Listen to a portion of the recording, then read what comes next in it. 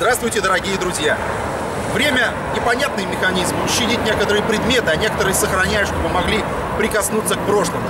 В Омском музее просвещения впервые экспонируется целый большущий шкаф, который раньше стоял в первой Омской мужской гимназии, а было это более чем сто лет назад. Смотрим.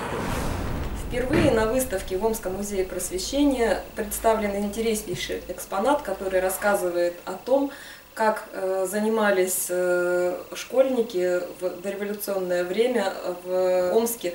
В э, первой мужской, мужской гимназии стоял в учительской вот этот замечательный шкаф, в котором хранились наглядные пособия, по которым гимназисты осваивали науку.